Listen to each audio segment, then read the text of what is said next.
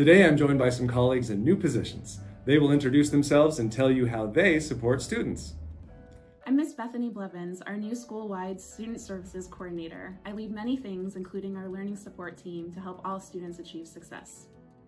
I'm Mr. Daniel Tice, our new ES Associate Principal and Secondary Dean. I provide school-wide support, especially with school culture and climate. You'll see me around campus every day. I'm Celine Blevins, the new middle school principal. I'm committed to making sure all students have a great middle school experience. I look forward to seeing you on campus. I'm Crystal Cullimore. I've been at ASA for six years and I'm in a new role as our first ever full day K4 teacher. We now have a full day K4 option for our students and they're going to be more prepared than ever for the future. I'm Sylvia Zanotti de Roson. As many as you know, I've been here for many years, now in a new role as the Deputy Director General. I will be working closely with Dr. Pluger to lead one school with two strong diplomas and programs, US and Paraguay. With these great people in these new roles, we know our students will have an even better learning opportunities than in previous years.